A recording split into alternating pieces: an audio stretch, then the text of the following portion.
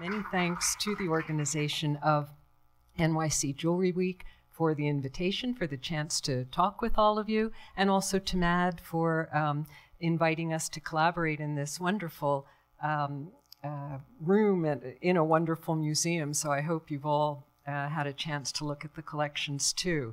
Because what we're going to look at now, uh, I'm going to jump really right into it with um, just a moment or two of um, sort of getting you situated. Um, I've used the term the Renaissance jewels for um, recognizability and so forth, but it's what we used to call the long Renaissance. Now, following historians, we often talk about the early modern period, which um, would be 15th, 16th, 17th century, maybe into the 18th. But I'm going to go through material from the 15th into the 17th century. So we'll see how things developed and how traditions endured. Um, and not, there's not going to be a focus on one particular artist or one particular style. So you're going to see lots of different artists and styles. And what I hope to alert you to, along with how the jewelry function, is the number of fantastic artists who work throughout this period that you perhaps don't um, haven't heard of up to this point. Um, many of them happen to be women, and that might be a surprise. Well, many, a good number anyway. So those are some of the ways I chose to put the material together. And for the rest of it, um, we're just going to have a chance to look at how creatively these uh, people wore their jewelry. Men and women wore a lot of jewelry, as we'll see. And then also how the artist collaborated with the sitter to make portraits of the jewelry as much as portraits of the artist, um, portraits of the sitters. Uh, it was part of their uh, self fashioning, uh, uh, as a term that we use, and it was certainly part of their identity. And in all of these cases, their identity was absolutely linked to um, their status, uh, their privileged status of wealth and power. So all of that can be looked at through the prism of the jewelry that we see. You might wonder right away if I'm dealing with Renaissance paintings, how do we know that that jewelry really existed? Am I just guessing or making it up? Well, um, there are three ways that a researcher would approach how the jewelry is presented. How true is it? So the three ways would be looking at an inventory that mentions the jewel and describes it. The inventories, of course, would be to um, make a note of all of the possessions of the person rich enough to own this and to pass it on through inheritances. Um, the second case, which I'm showing you an example of with this beautiful Medusa um, uh, pendant, uh, the object might survive. It doesn't happen as much as we'd like because, of course, a lot of the jewelry was transformed the stones might have been taken out of the setting. The metals might have been melted down when cash was needed. So we don't have as many pieces as we would hope for, but many of them still do exist. So we can study the surviving objects. And finally, then, the third way would be what I'm going to focus on, and that is what we can see in the portraits. So, in fact, if you go um, to the Met you will be able to see the lovely portrait of Maria uh, Baroncelli that you're looking at now, painted by Hans Memling. And you see she's wearing an absolutely fantastic necklace. And that you might say, ah, that's got to be a fantasy piece. Well, we don't think so because uh, there are many reasons. One is that we see it again in another portrait that uh, was painted by a different artist. And so, um, in addition to the elaborate beauty of that necklace, it clearly was a piece that um, Maria decided she wanted to represent, to use to represent herself. And um, sometimes we're very lucky, and we can have all three of those modes of research come together for example, in this portrait of the Duchess of Florence, Eleonora of Toledo, that Bronzino painted, um, we see Eleonora in a small format portrait. She is um, absolutely beautifully accessorized with lots of pearls. We'll see again, this was her favorite jewel. And um, this was a portrait, we think, that was made for her husband, the Duke of Florence, who happened to be a Medici. And as you look at the pose, she uh, puts her hand toward her breast, and um, that is certainly a gesture of love and fealty. So it's often used in portraits that are made for a partner, a spouse. Um, and what I've done then is twisted that detail around so that I orient the two rings in a way that you can see them a little bit more clearly. Uh, the one on the index finger is a diamond, and that was one of the Medici um, symbols. So that makes sense both for its preciousness and to make the point that Eleonora, from this very noble Spanish family, um, is now part of the Medici family. And that ring on her small, her little finger, um, there you have it painted, and there you have it in real life. Um, this still exists in the Pitti Palace collection. Um, it was one that Eleonora loved so much that she not only had it represented in her portrait, but she was buried with it.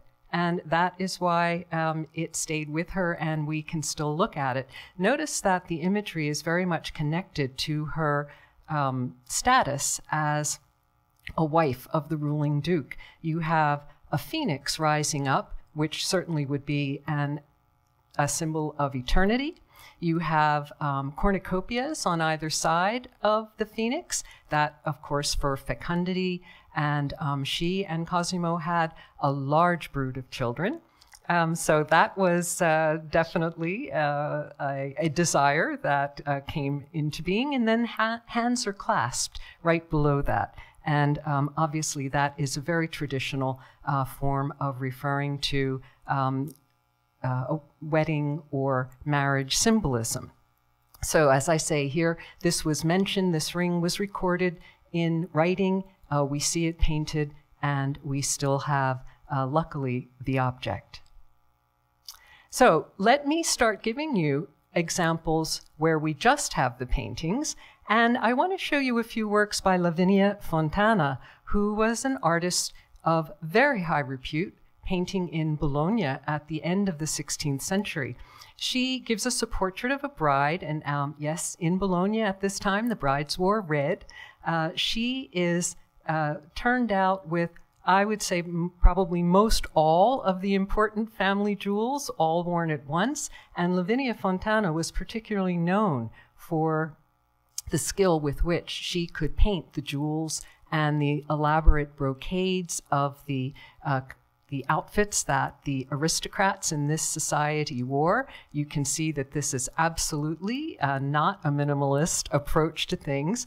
Um, I'll just mention quickly that one of the reasons people who um, had power through their wealth or their titles felt comfortable about showing, displaying all of the um, splendid possessions that they had. And I use that word because we can trace through the literature that splendor was seen to be a virtue. And so this is one of the reasons why um, the artists developed the skills of displaying it to, uh, to best advantage. So this young bride, we don't know her name, uh, but she is wearing lots of layers. So, you know, we've been all getting into that recently. Um, we could learn a few lessons from the uh, Renaissance women. She um, has a, a, kind of a collar necklace from which a large cross hangs that has a pearl pendant. That was a very um, popular kind of important jewel uh, to make your statement about which religion you belong to. And um, you know that these were societies where the Christians really did rule, the Catholics in particular, um, at this point. And so this was a political in many ways as well as a religious statement. Um, she wears her gold and pearl chain looped over another very large pendant, which also has then the hanging pearls, and a belt um, at her waist, which um, is uh, similar in its um, design to the um, collar that she's wearing. These women also draped jewelry in their hair. Often they would take uh, necklaces and use them as headbands, and you'd see them painted in different ways. And by the way, um, if you look down at that little detail, the little dog that she's petting, uh, we might call it Fido uh, or Fido, which means faith. So that is a symbol of the faithful wife in a marriage. And her other hand is holding a little tiny paw, and that is a pelt of a sable and um, you see that the head of that sable has been encased in gold and jewels. And that was a very popular fashion accessory of the time, of course, for the very rich. While we're looking at marriage imagery, let me show you a married couple. Uh, this, I've put it with Lavinia Fontana, but um, it is contested. There's one, the curator at the Cleveland Museum where this belongs doesn't believe it other scholars do. But um, I'm going to put it in with her work um, and also just mention that the young woman with the splendid outfit that you saw in detail um, as a kind of symbol for this lecture was from the circle of Lavinia Fontana. So I want to make the point that she ran a very important workshop, which at a young age she took over from her father, and did indeed have a circle of artists who worked with her and for her. So there are probably a lot of works that are close to her style because of that. She also uh, loved jewelry and would sometimes take jewelry as payment for her work, which not only then, shall we say, kind of fed her habit, but uh, was a very um, genteel way of receiving payment for her work. Because, of course, at this time, very few women were in any of the professions. She was a professional artist, her husband was her agent, um, and so she had to watch that boundary between um, seeming that she was behaving in an unvirtuous way in a men's world. Um, so, payment in jewelry, I think, was a great technique on her part. And here, this married couple um, shows you that men also wore a lot of jewelry, not as much as women in most cases. So there is a gender distinction, but you see that he wears one heavy gold chain, she wears a number of chains of varying lengths and different kinds of um, uh, pieces put together. And of course, her belt is there. His belt is also gilded, a little less um, evident than hers. But notice then the male attributes. He's holding the pommel of a sword. Those could be highly decorated, and of course, jewelers would often make those. He's got a little dagger behind him. Um, so, men's accessories um, were certainly um, slightly different. There are the gender distinctions, but as I say, everyone wore jewelry. The women um, would be wearing more because they remember in a marriage would bring two wealthy families together and would often then mix the family jewels. So I'll say a little bit more about that. Oh, also, you know, I'm I can't spend too long on any of these since I'm showing you so many, but I do want to mention that this painting also gives us a clue about what was important in portraits at that time, not only saying who these people were through the jewelry and the accessories that they wore, but you might notice that at the top, to the side of their heads, there's a little bit of writing, and that's telling you the age of each of them. So we don't know who they were. We're not entirely sure who the artist was, but they, I, you know, we know their ages. And when you stop and think about it, it's because this really is a document. They wanted themselves recorded at this moment. There was something special about it. And their friends, their family, um, the other members of their social class would know who they were when they saw the portrait. Um, and so that was not the most important information to note down. Speaking of marriage, let me show you a very different kind of portrait from a century earlier. Uh, we call these, for obvious reasons, profile portraits, and we use that as a category because there were so many of them made, um, especially in the 1480s and particularly in Florence, although in other places as well. These two women come from the shop of Piero and Antonio Pollaiolo, showing you young women whom we can identify, but again, we think that these were made at the moment of their betrothal or when they were young brides.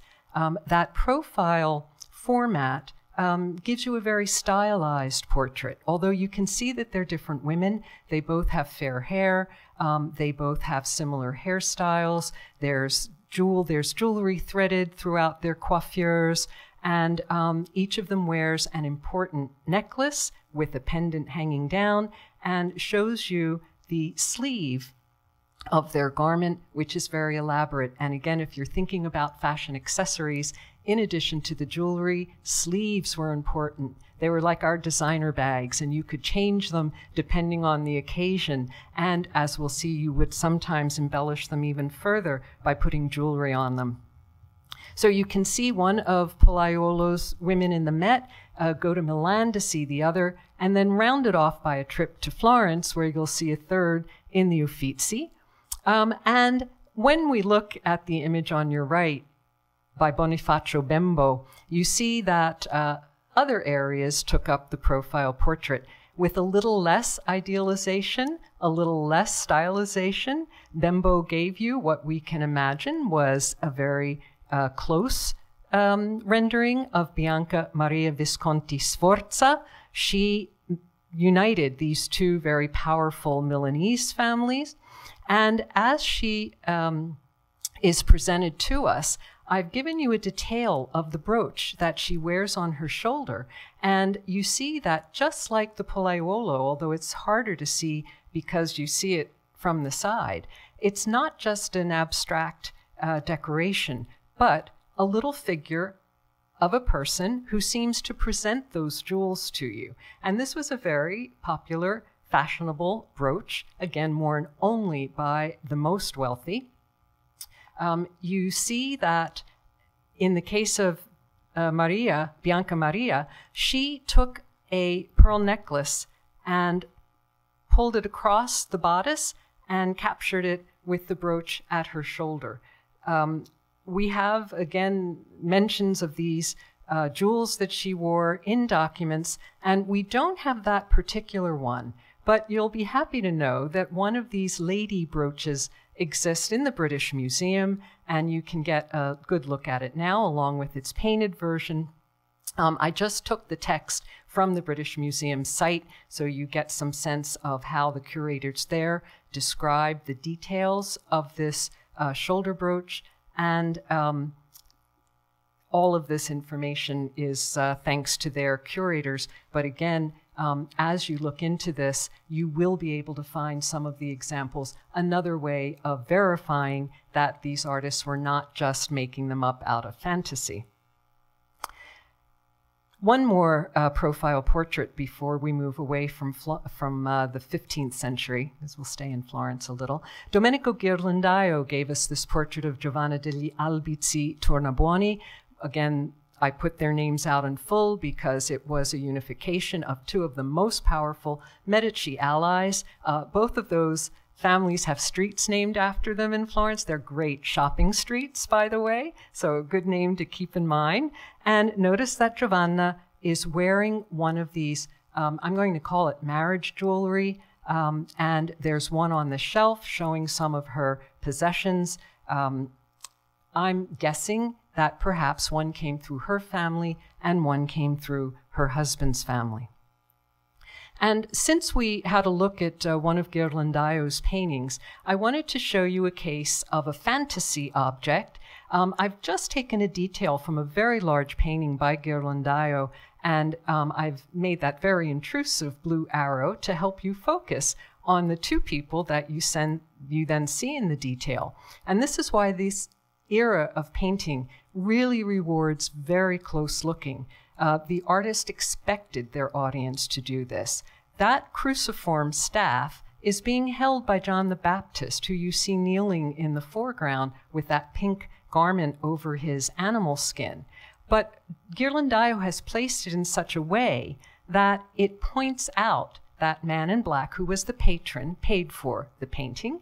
And while he was at it, the artist decided to put his own self portrait in there. Um, he's very dashing, so I always think, well, this is what Ghirlandaio wanted us to believe he looked like, and uh, I hope it was the case. But notice that he also takes a slight step back from the patron. So you have to be decorous about all of this. And that jeweled staff, which is a fantasy object, um, first points out that patron and then the artist. I also am taking this slight tangent to make a point for you that in the 15th century, especially in the Italian tradition, it was very common for artists to have their first training as goldsmiths. And they would then go on to be painters, sculptors, even architects. But the basis in the meticulous nature of working in gold, you would start with drawings, you might engrave on gold. All of those qualities were then brought to bear on the other uh, forms of the fine arts. And this is another reason why these artists took such delight in showing you the detail of the jewelry. They uh, might have been trained in that, and as I say, the patrons wanted it because it was giving portraits of their particular family. So all of it comes together um, for these remarkable results. And even though I'm not going to emphasize the top names in Renaissance art, I had to include Maddalena Strozzi Doni from the beginning of the 16th century. You see that at that point, that very stylized, kind of flat, um, beautiful portrait done in profile was not so popular anymore. And this kind of naturalism um, of showing the full figure was something that became of more interest to people having their portraits painted. And Raphael was a great master. This is an early work of his, but already he had great skill in blending uh, a an image of the person, let's say if you saw her on the street, you'd probably be able to recognize. He didn't idealize it too much, but certainly showed her to her best advantage. And she looks as though she is sort of assuming the dignity of her new state, having married into the Doni family.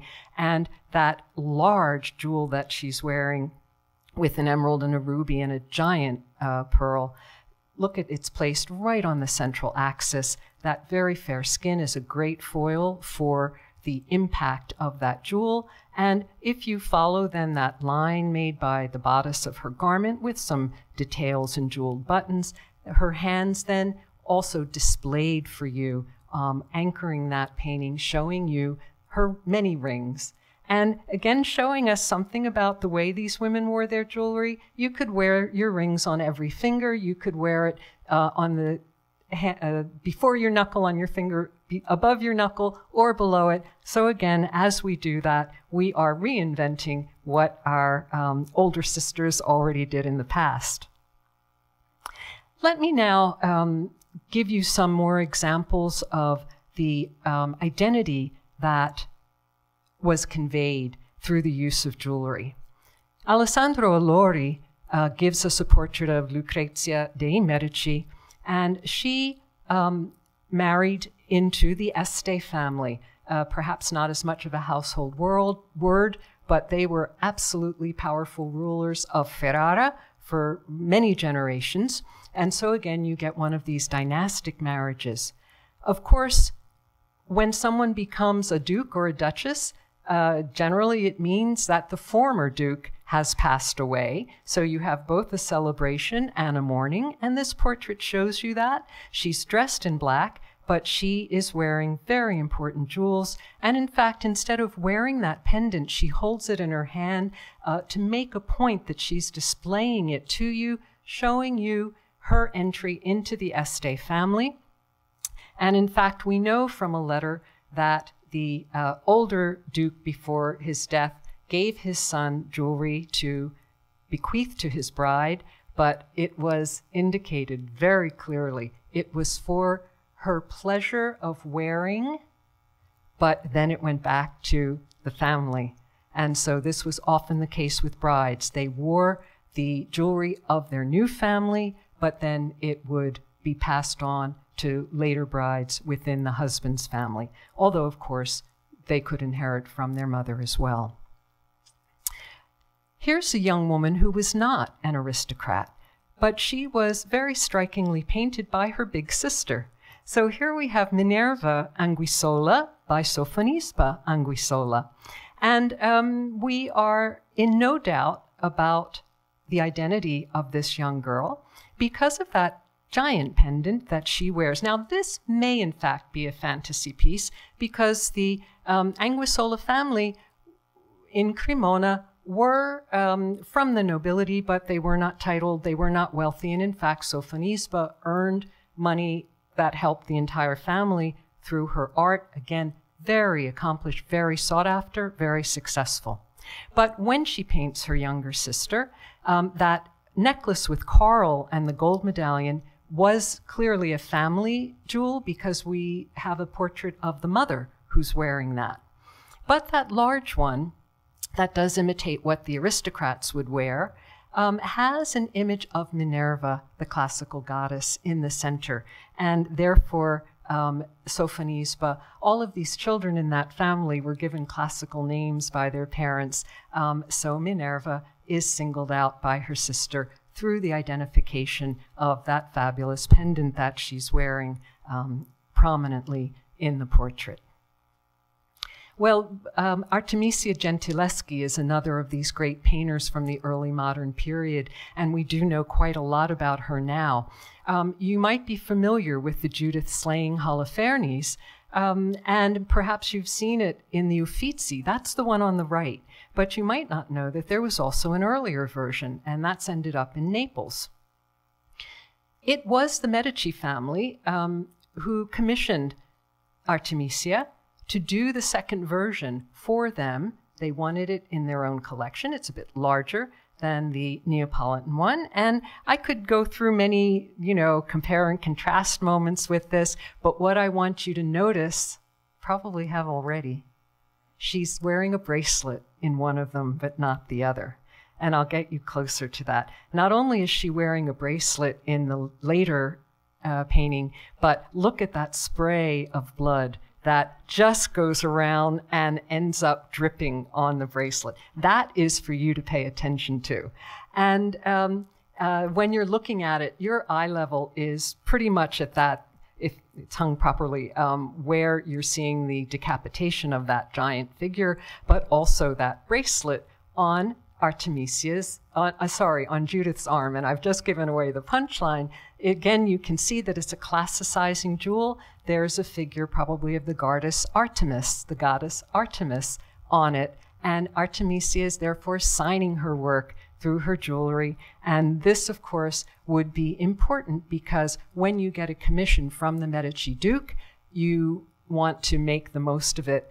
And this would give pleasure not only to the artist for owning, as we would say, the painting that she made, but to the patron. Because then when guests come, he could show off the painting and say, oh, by the way, notice how the artist has signed it, and then you let your friends into this little bit of information. It's like I'm letting all of my friends into the information, and it gives you a um, way into that painting that um, not everyone would have, although we want everyone to have it.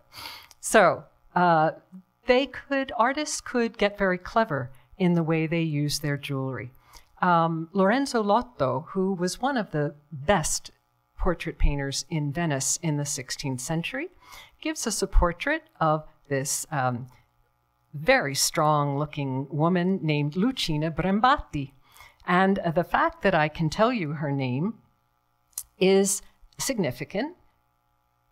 And it's because Lorenzo Lotto gave us the clues within the painting as to the identity of his sitter. So if you, for a moment, will do the one in nature quickly, um, have a look at that moon that's behind her head, and I've given it to you in detail. Can you read that there's something, a little black marking inside that sliver of moon? Those are the letters CI. And if you know some very simple Italian or even some popular songs, you will know that Luna is moon. And if you put a CI in the middle of Luna, you get Lucina. So he tells us her name. And not only does he do that, but he displays some of the um, jewels that she owns. And um, she has this fabulous amulet that's hanging down with a pearl, and it looks like a little ruby on that um, hooked gold form. And um, she wears several rings, and the one ring that I've pointed out is uh, made of the coat of arms of her family. So we know that she was a member of the Brembati family. And by the way, um, she is also holding on to one of these pelts, and you can just see the little chain um, in the detail there on the right um, that holds that pelt to her outfit. Also, when you look at the uh, top of her bodice, um, this is an interesting uh, detail because it shows you that often jewels were sewn right onto the fabric. It looks to me like here we have some uh, gold braid fabric but those little shells, um, rather than embroidery, would seem to me to be little gold medallions that hang from that braid. And as you look at more examples, you'll see that often um, precious jewels were sewn right into the fabric of the garments that um, these people would wear. Now, one other caveat when you see these very embellished images, this is not what they would wear walking down the street every day. Uh, this would be for the most important occasions and for that memorial of defining the person in a portrait, um, showing who they are through parts of their wealth and making the identity through those objects. So a Milanese artist, Ambrogio de Predis, shows you another woman of the Sforza family. You see that her most, a very elaborate outfit all the way around, but the most elaborate part um, is the headpiece. And, you know, dressing the hair was an extremely important element of the way women would dress. Married women would never wear their hair loose. It was always in an elaborate coiffure. And here you've got a very young woman, so there's something in between. Her hair is braided, caught up in um, jewels, but look at that cap with all of the pearls um, and other jewels around it. But I want to focus your attention on that very large pendant that hangs from the, the band of her um, headpiece. And you see that I, have told you, you can read the enameled motto um, on that, telling you that she is a member of the Sforza family. No doubt left there. Um, let's uh, have a look at one of the men in the Sforza family, Lodovico il Moro. Uh, he ruled Milan. You see, I've given you the dates, end of the 15th century. His nickname was Il Moro, and you can see that's because he had a dark complexion and dark hair, and he embraced that nickname. He was proud of it, and you see that when he had his initial made with a pearl, he used Moro for it. That was his very particular identity. He wears it in his cap, and I'm going to say more about what a favored place caps were for male jewelry. But here again, we cross genders. Anne Boleyn um, has a very similar jewel that she wears as a pendant. And here we do have um, that similarity, but then highly gendered. Women tended to wear the jewels as pendants or brooches, and men would wear uh, the uh, pins in their caps. He had a longer reign than poor Anne uh, Boleyn. I put that up there just to uh, remind you that she did not last long as queen, um, but she did bring uh, the first of the Queen Elizabeth into the world, and we'll see her, we'll meet up with her in a moment. Let's just kind of refresh our uh, visual palettes for a moment after seeing all of these very um, elaborate jewels and details. What happens when you see two portraits like this? Clearly, these women made it a point not to wear a lot of jewelry in their official portraits. And then we would question uh, they're clearly not from the poorer classes who would never be able to have a portrait of this sort made to start with. But what Bronzino does when he gives you a portrait of Laura Battiferri is to show her. I mean, she's very expensively dressed, but very subdued. Um, she is holding a book that she's showing you very, very clearly, pointing out a couple of lines. You can read what's in that book. Um, it's Petrarch's poetry. And what she's telling you, or what is being commemorated in this portrait, is that she was a poet. And she was a poet of some renown, uh, married, um, as it turns out, to a very important architect of the time. We're still in Florence with Bronzino um, in this painting. She's got this powerful profile that is not uh, diminished at all. And she is um, happy to show herself in another way. She's got one gold chain, which I'm going to let you see that a little bit more closely, a costly item, but the lack of jewels is saying, um, again, it's making a gender point. Uh, I'm more like a man in the work I do because there were so many fewer women who were able to uh, engage in, in an art or any kind of profession. And the painter Sofonisba does this as well. We have lots of self portraits from Sofonisba, and she shows herself all the time. I don't think there are any exceptions. Dressed in black without jewelry. Uh, wearing black was, especially in the 16th century, very popular for men. So they are making gendered statements in the way they present themselves, and here the lack of jewelry is going along with that.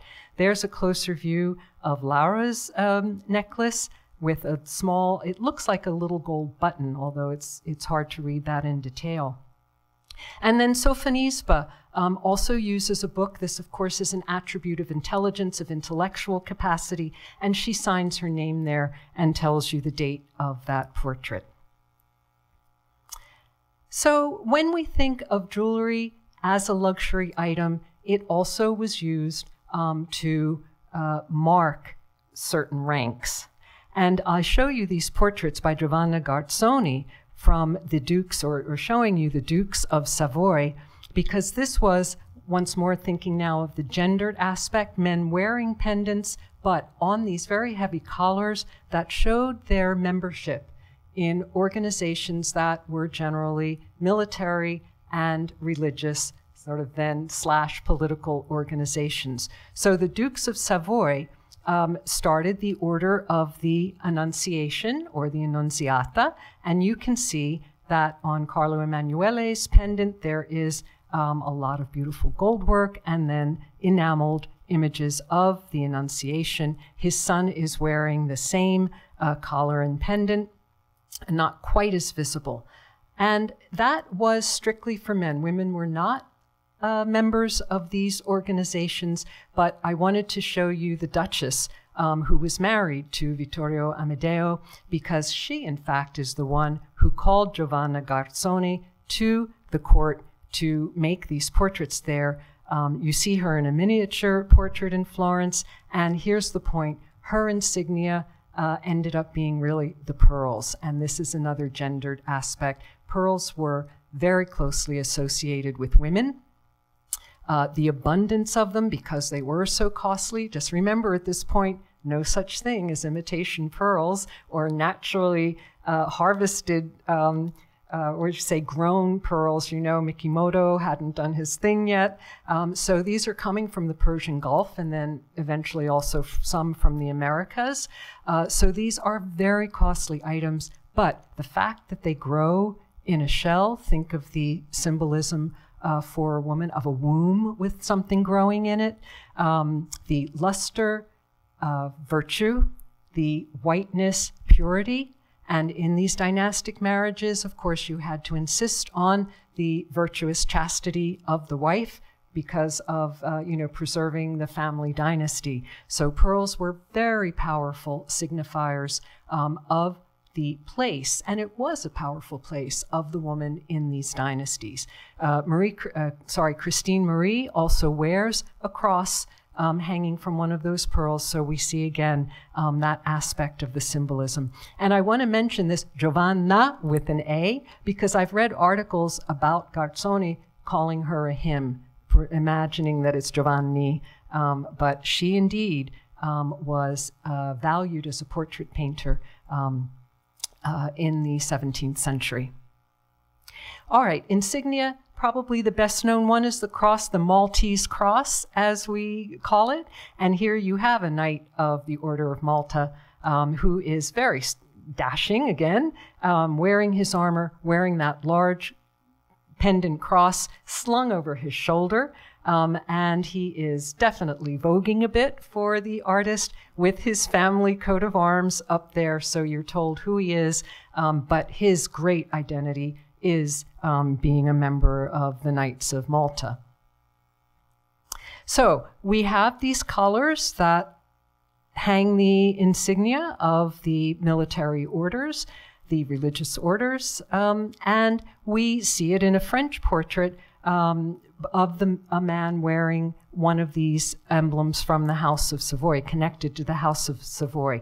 Notice that he also wears it in his cap. So once is not enough. He's going to wear it on his uh, as a pendant. He's going to wear it as a cap, badge, and notice that you have lots of little aglets decorating that cap. Here now you're starting to see how important that accessory was for um, aristocratic men. Uh, here we see where they came from. They were pilgrim badges to start with that you would get when you went to certain sacred sites. Um, you can see down on the bottom that they were base metal, um, mass produced to start with. They have the loops so that you can sew them on to your cap. Um, many people would collect them and put them in their prayer books, as you see too.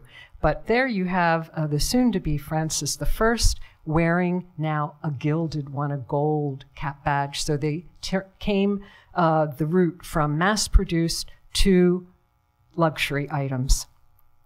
And here I'll just give you another example of one of the French kings, um, Louis XII. He's got his badge um, attached in an interesting way with that band going across it in his cap. Um, the Order of uh, Saint, or sorry, paying tribute to Saint Denis, the patron of France.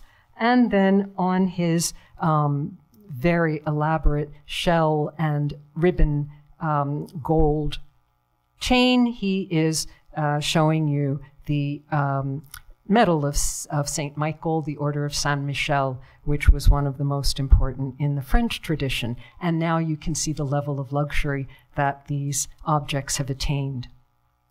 Um, here we have a very um, elegant African gentleman who rose to a high status in Europe as a member of the bodyguard of Charles V, the Emperor Charles V. So he has his portrait painted, um, showing that status that he has achieved. He's dressed very elegantly, and you see those lovely gloves that he's wearing. Those were a mark of the gentleman, as was the sword. He's got a jeweled purse at his belt and a cap badge telling you that he went to the site of Our Lady of Halle, and that town was special to the Habsburg family. So, all in one, he's telling you, I'm a Christian, I'm a member of Charles V's uh, group, I have status as an important um, soldier in his employ. And um, that, again, we believe he's Christophe Le, Lemort uh, because a man of this um, origin and profession is described in documents, and I think it's a pretty safe um, bet that that is he. Well, let's keep looking at some of the French uh, wearers of these cap badges.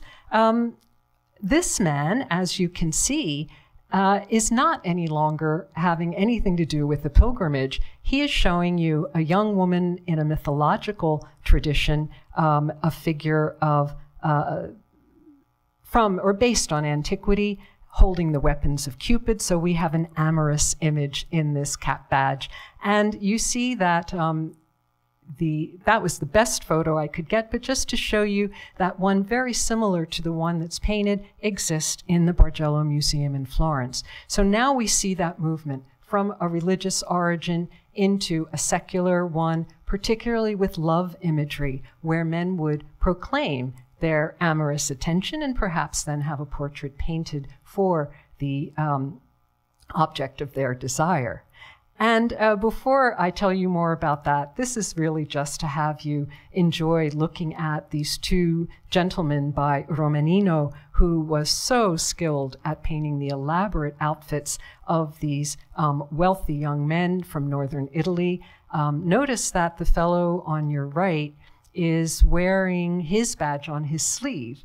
Um, that's a bit unusual, but once more we see that um, there was creativity in the way, way these jewels were worn. Speaking of which, um, look at the, this man from the Burgundian court. We think perhaps he was Charles of Burgundy. We're not entirely sure. But this artist, painting in a very Italianate style, gives us a portrait full of visual detail. Um, look at the cap badge as much as you can see. It is a, an image of Cupid and Venus, and that sets the tone. Um, notice that I've sort of wanted to give you the impression of going a little bit crazy with all of the lines and so forth, uh, um, to just show you this is so full of images to read. And do notice I'm trying to say this in a genteel way. They're all grouped around his codpiece. And um, there is a reason for that. Um, you've got a ring that he's pointing out to you. You've got a dagger um, with a motto on it, I love no other than you. He's got jewels at the end of his sleeve. Um, he's got a fish biting his finger. We're not entirely sure that why that is, but here you have again one of these, you know, too much is not nearly enough uh, sort of images, but all of it is based on making a statement about love. And I truly hope it was presented to the woman um, that he loved um, and or the person that he loved, but we don't have all of that information. All right, let me um, move along and go back to um, the women in power side of the equation.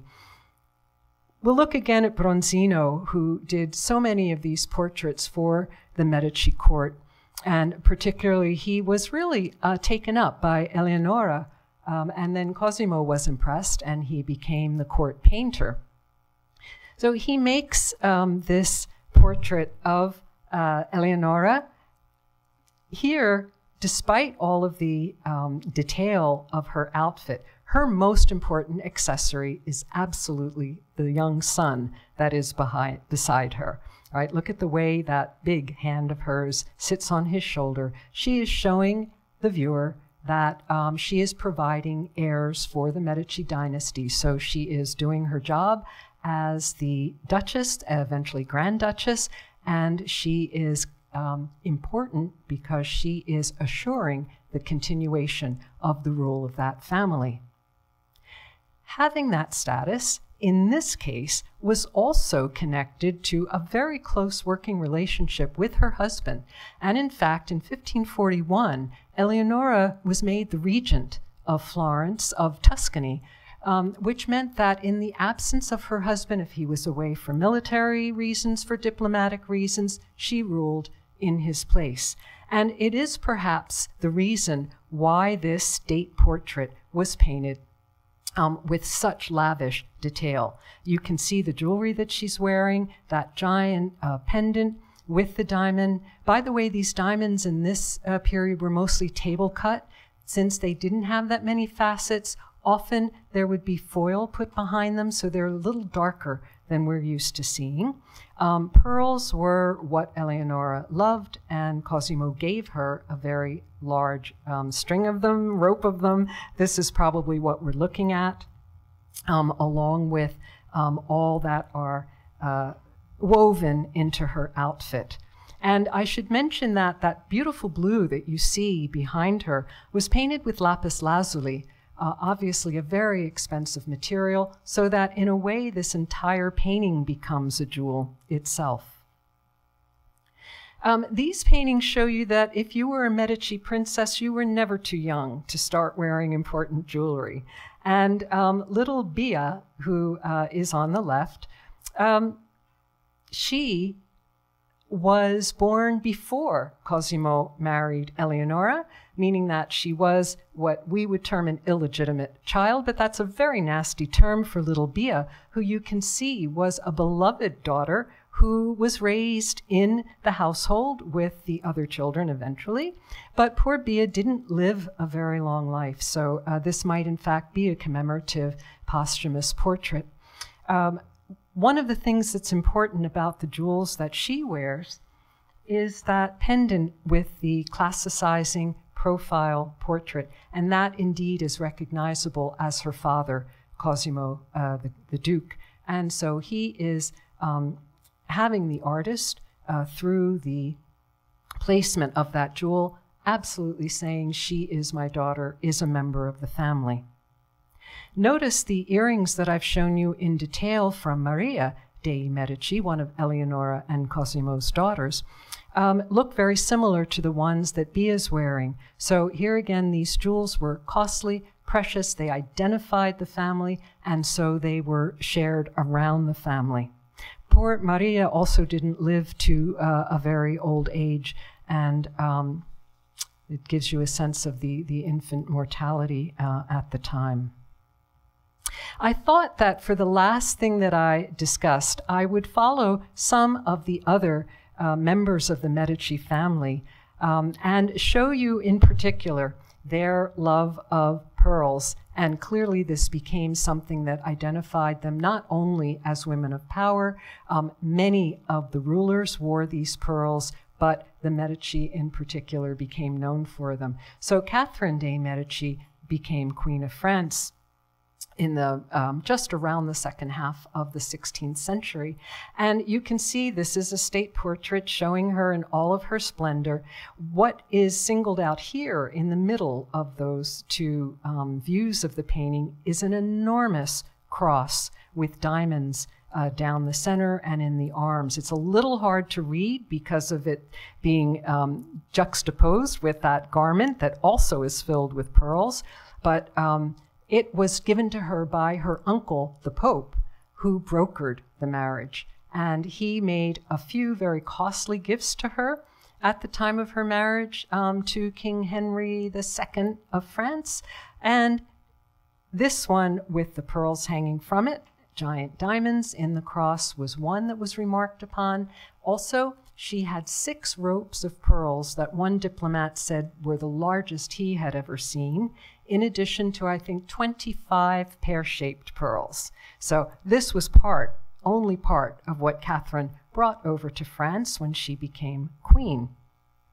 Eventually, another Medici uh, from a different branch of the family, but the daughter of um, the uh, Grand Duke and Grand Duchess, around 1600, she became Queen of France. And in these uh, portraits, the one on the right repeats that um, prominent display of a cross that if it's not the same one, it's very similar. So I'm imagining that these now went down through uh, the Queens of France, or perhaps because of that Medici connection. Notice that it's got a few less pearls hanging from it than that other, the one of Catherine's that I showed you.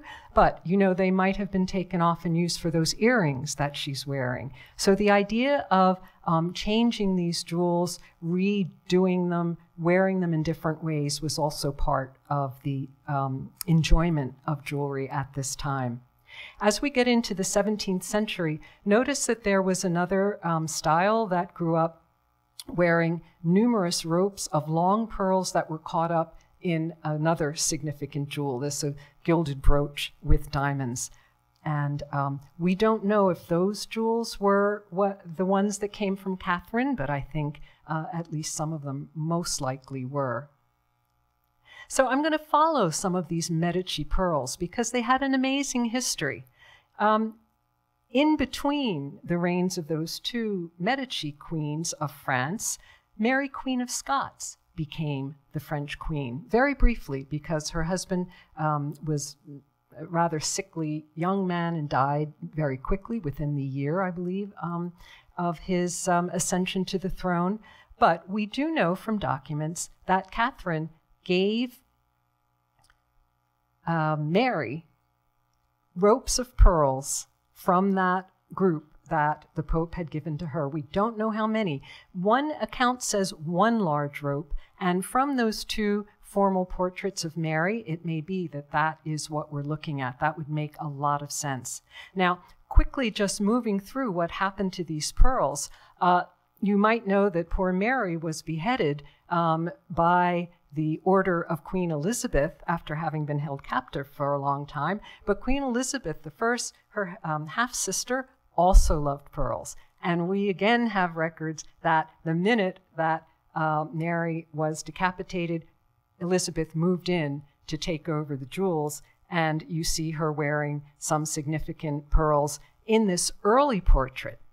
But look what happens when we get to 1588. This is called the Armada portrait, um, showing her um, incredible power after that significant win um, in uh, the sea, the battle in the sea, and she now is wearing more pearls than anyone can count, I think, including all of those long ropes, and were, in fact, some of those the Medici pearls, some of those pear shaped ones in her coiffure. I'm sure they were uh, thanks to Mary's demise.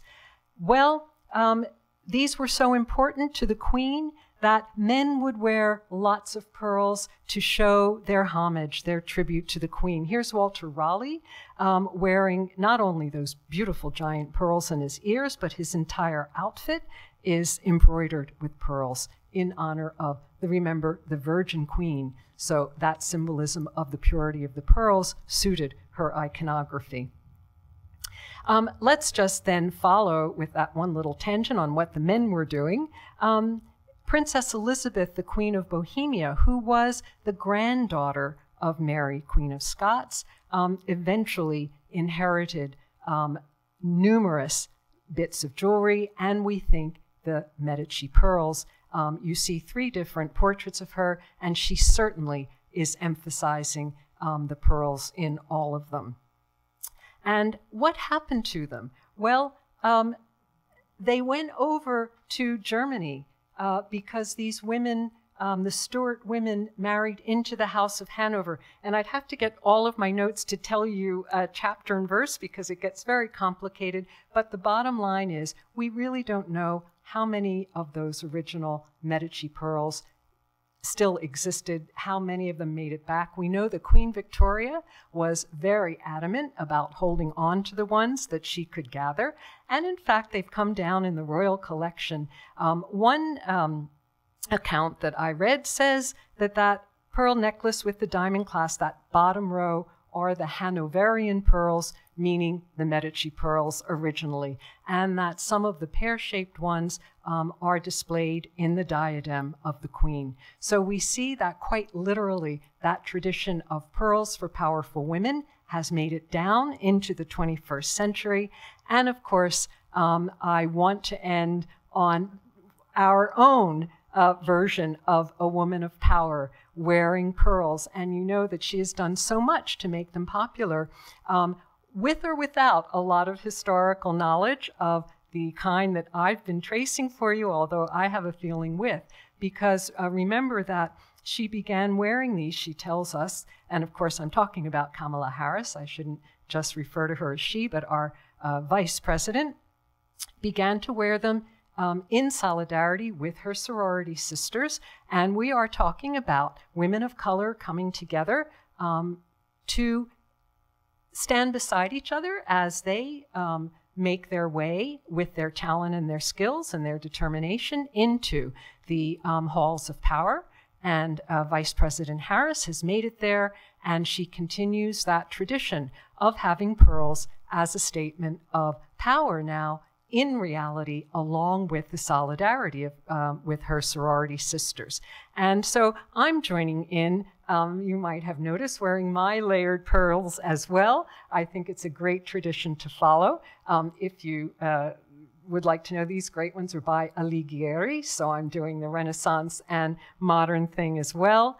And I think um, I'm going to just leave you with that um, thought of the tradition that our vice president is embodying in her use of pearls. Um, the final thing I'm going to do is a little more self serving. I've had so much fun talking with you today, and I appreciate your coming out to listen to what I have to say. If you find that perhaps there's more interest in historical art than you had um, been aware of, or if you just love it Anyway, um, I will bring to your attention a book that I'm bringing out. Alex mentioned it. In fact, it's going to appear next week. And if you're interested, you can get a discount for having participated in NYC Jewelry Week, even though this doesn't have to do with jewelry. Maybe the next one will. But thanks so much. And uh, it's been a pleasure to talk with you.